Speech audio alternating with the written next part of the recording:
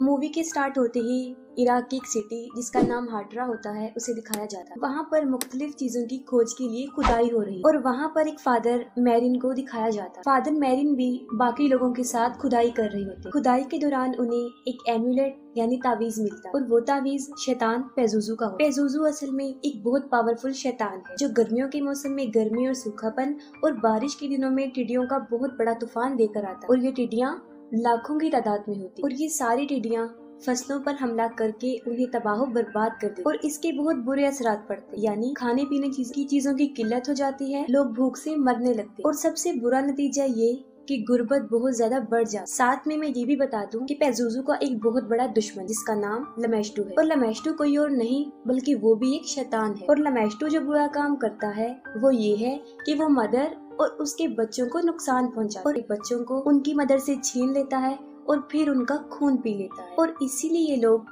पेजुजू का सहारा लेते हुए माँ और बच्चे को लमेस्टू से दूर रखते हालाँकि पेजुजू भी एक शैतान है। लेकिन लोग उसे अपनी हिफाजत के लिए यूज़ करते हैं, उसका सहारा लेते क्योंकि वो दूसरे शैतान लमेस्टू से उनको बचा कर रखता फिर फादर मैरिन को दिखाया जाता है, ऐसी जगह पर पहुँचते हैं, जहाँ उन्हें पेजुजू का स्टैचू मिलता है, और वहाँ पर दो डॉग भी होते हैं, जो उस वक्त आपस में लड़ रहे होते और वो इस बात का इशारा होता है कि दो शैतान आपस में लड़ रहे हैं। दोनों शैतान, यानी पेसोजू और लमेस्टो इसके बाद जॉर्ज टाउन दिखाया जाता है और वहाँ पर क्रिस मैकनील को दिखाया जाता है, जो मूवी में एक एक्ट्रेस का रोल प्ले कर रही है और अपने डायरेक्टर वर्क की एक मूवी जो स्टूडेंट्स के ऊपर बनाई गई है, उसमें काम कर रही क्रिस की एक 12 साल की बेटी रीगन होती है। क्रिस एक बहुत फ़ेमस एक्ट्रेस होती है, जिसके पास शोहरत, दौलत, दुनिया की हर चीज़ होती है। नेक्स्ट सीन में दिखाया जाता है कि दोनों माँ और बेटी एक दूसरे के साथ होती है। क्रिस को अपनी बेटी के टॉयज में एक ओजा बोर्ड मिलता है। क्रिस अपनी बेटी से उस बोर्ड के बारे में पूछती है, जिस पर वो जवाब देती है कि मैं अक्सर इससे खेलती हूँ। क्रिस उसे कहती है कि ये गेम अकेले खेलने वाली नहीं है, जिस पर वो जवाब देती है कि मैं इस गेम को अकेली नहीं खेलती, मेरे साथ कैप्टन होडी भी इस गेम को खेलते क्रिस उसे कहती है कि चलो, अब हम दोनों खेलते हैं, और तुम मुझे बताना कि इसे कैसे खेला जाता है। और जब वो खेलने के लिए उस बोर्ड के पास जाती है तो वो खुद ब खुद उससे कहीं दूर चला जाता है। इस चीज़ को क्रिस मज़ाक में लेती है और वो मज़ाक में अपनी बेटी से कहती है कि मुझे ऐसा लग रहा है कि तुम मेरे साथ ओजा बोर्ड नहीं खेलना चाहते इस पर उसकी बेटी उसे जवाब देती है कि मैं नहीं, कैप्टन हाउडी ये चाहते हैं कि तुम इस गेम को ना खेलो। क्रिस उसकी इस बात को सीरियस नहीं लेती और मज़ाक समझती फिर दिखाया जाता है कि क्रिस सो रही होती है और उसके पास किसी की कॉल आती है, तब वो जाग जाती है। क्रिस देखती है कि उसकी बेटी भी उसके साथ सो रही है, जिसकी वजह से वो उससे पूछती हो कि तुम यहाँ पर क्यों सो रही हो? और उसकी बेटी जवाब देती है कि मेरा बेड हिल रहा था और इसी वजह से मेरे लिए उसके ऊपर सोना मुश्किल था। क्रिस इस बात पर ज़्यादा ध्यान नहीं देती और रूम से बाहर चली जाती है। क्रिस को लॉफ्ट रूम से कुछ आवाज़ें सुनाई देती और ये आवाज़ें वो पहले भी सुनती रहती थी। वो अपर फ्लोर पर जाकर देखती है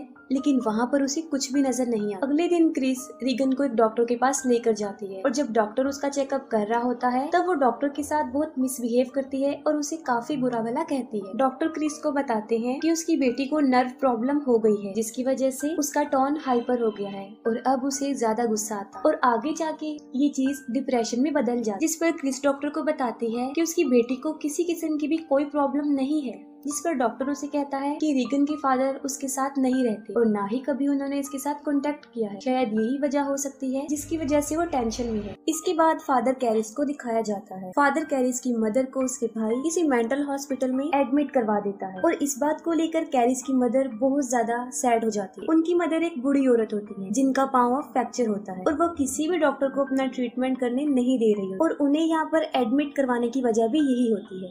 फादर कैरिस ये चाहते थे कि अपनी मदर को इस हॉस्पिटल से निकाल के वो किसी अच्छी हॉस्पिटल से उनका ट्रीटमेंट करवाए। लेकिन वो ये अफोर्ड नहीं कर सकते। फिर उनकी मदर की डेथ हो जाती और वो बहुत ज़्यादा सैड हो जाती क्रिस अपने घर में एक पार्टी रखती है और पार्टी के दौरान उसकी बेटी वहाँ पर आ जाती है। वहाँ पर मौजूद वो एक गेस्ट से कहती है कि उसकी डेथ इसी घर के ऊपर वाले फ्लोर में हो और इसी दौरान वो वहीं खड़ी खड़ी यूरन कर देती है। वो सब कुछ देखकर लोग शॉक हो जाते क्रिस रीगन को नहलाकर उसे उसके बेड पर लिटाकर जैसे ही वापस आती है, उसके जाते ही उसका बेड तेज़ी से हिलना शुरू कर देता है, जिस पर रीगन काफ़ी चिल्लाना शुरू कर देती है। क्रिस भी ये सब कुछ देख रही होती है, लेकिन उसे कुछ समझ नहीं आ रही होती कि आखिर ये क्या हो रहा है। क्रिस उसे दोबारा से डॉक्टर के पास लेकर जाती है, और डॉक्टर फिर उसके ऊपर बहुत सारे टेस्ट करते और उसे बहुत सारी तकलीफों का सामना भी करना पड़ता लेकिन उसके सारे टेस्ट बिल्कुल नॉर्मल होते हैं, कि वो बिल्कुल ठीक है, उसे कोई बीमारी नहीं। दिन ब दिन रीगन की तकलीफ़ में इजाफा हो रहा था, और अब तो कोई उसे उठाकर हवा में उछाल कर बेड पे फेंक देता था। और उस वक्त रीगन सिर्फ़ यही चिल्ला रही होती है कि मुझे बचा लो वरना मैं मर जाऊँगी। लेकिन क्रिस कुछ भी नहीं कर पाती।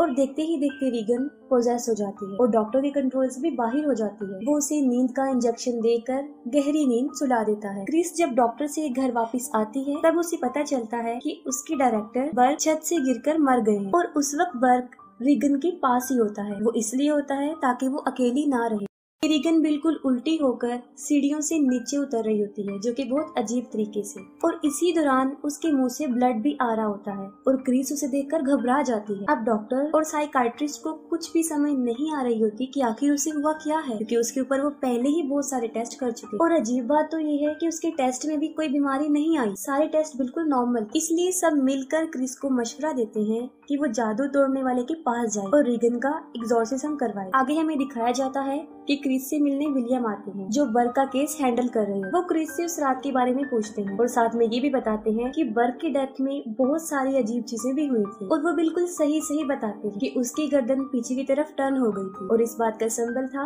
कि उसे किसी शैतान ने ही मारा है। कौंसिल विलियम के वहाँ से जाने के बाद रिगन के रूम से बहुत ज़्यादा चिल्लाने की आवाज़ें आ रही होती। क्रिस जब उसके रूम में जाकर देखती है तो वो देखकर काफ़ी हैरान हो जाती है कि उसकी बेटी ने खुद को बहुत ज़्यादा जख्मी कर लिया है और वो मुसलसल खुद को जख्मी किए जा रही है। और जैसे ही क्रिस उसे रोकने के लिए आगे बढ़ती है, वो क्रिस पर भी हमला कर देती है। इतनी ही देर में उनके सर्वेंट्स भी वहाँ पर पहुँच जाते हैं। वो दरवाज़ा खुद ब खुद बंद हो जाता है। वहाँ पर रखा हुआ एक सोफा खुद ब खुद मूव होकर दरवाजे के पास आता है और उसे मजबूती से बंद कर देता है। और रूम में रखी हुई अलमारी भी खुद ब खुद मूव होकर क्रिस पर गिरने लगती है। लेकिन ठीक वक्त पर क्रिस वहाँ से हट जाती है और खुद को बचा लेती है। उसी वक्त उसकी बेटी अपना सर पूरी तरह टर्न करके पीछे कर लेती जो की एक बहुत अजीब चीज़ थी ये कोई नॉर्मल बात नहीं थी। रीगन वर्क की आवाज़ में क्रिस को कहती है कि देखो, तुम्हारी करेक्टरलेस बेटी ने मेरे साथ क्या किया है? ये सुनकर क्रिस फ़ौरन समझ जाती है कि बर्ग को भी उसी शैतान ने ही मारा और रीगन पर किसी शैतान का बहुत बुरा साया है। और रियलिटी भी यही होती है।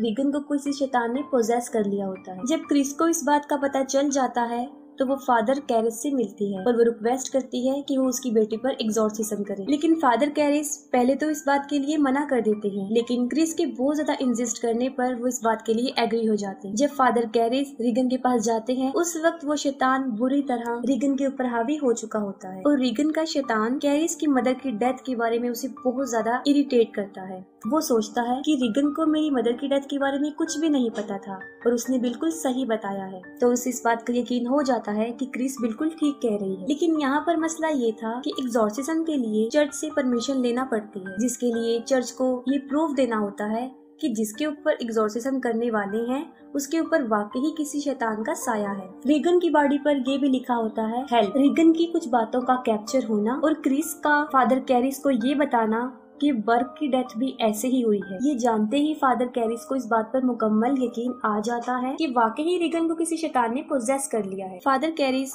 रिगन की रिकॉर्ड की हुई आवाज़ को सुनते हैं और उस रिकॉर्डिंग में वो फादर मैरिन का भी नाम ले रही होती है। दूसरी तरफ़ फादर कैरिस चर्च से एग्जॉर्सिज्म करने की परमिशन तो ले लेते हैं, लेकिन चर्च उनके साथ किसी एक्सपीरियंस फादर यानी जिन्होंने पहले भी एग्जॉर्सिज्म कर लिया है, उन्हें साथ भेजने का डिसीज़न लेते हैं। और यहाँ पर चर्च फादर कैरिस के साथ फादर मैरिन को ही भेजते हैं। फादर मैरिन जब उन लोगों के घर पर जाते हैं, तब उन्हें रिगन की चीखने की बहुत भयानक आवाज़ें आती फादर मैरिन फादर कैरिस को कहते हैं कि उन्हें फ़ौरन ही एग्जॉर्सिज्म स्टार्ट कर देना चाहिए, और फिर उनका एग्जॉर्सिज्म स्टार्ट हो जाता है। जैसे जैसे एग्जॉर्सिज्म के प्रोसेस को आगे बढ़ाया जाता है रिगन बुरी तरह चिल्लाना शुरू कर देती है। वो चीखते हुए फादर कैरिस और अपनी मदर क्रिस को बुरी तरह एब्यूज करती है। और इसके साथ ही उसका बेड बुरी तरह मूव करना शुरू कर देता है। और उनकी नज़रों के सामने ही खुद ब खुद बेड उठकर हवा में चला जाता है। लेकिन वो एग्जॉर्सिज्म को नहीं रोकते, वो कंटिन्यू ही रखते हैं और उसका बेड ही नीचे आ जाता है। अब वो शैतान अपनी शैतानी ताकत से चीज़ों को इधर उधर फेंकता है। फादर मैरिन को भी एब्यूज किया जाता है और रेगन के हाथ की सारी पट्टियाँ खुल जाती और रेगन हवा में उठ जाती दोनों फादर बड़ी मुश्किल से उसके ऊपर अपना कंट्रोल करके उसे नॉर्मल करते और इसी दौरान फादर मैरिन को शैतान पेजूजू का साया नज़र आता है। और यहाँ पर फादर कैरिस शैतान की बातों से बहुत दुखी होते क्योंकि वो उनकी मदर की डेथ का रिस्पॉन्सिबल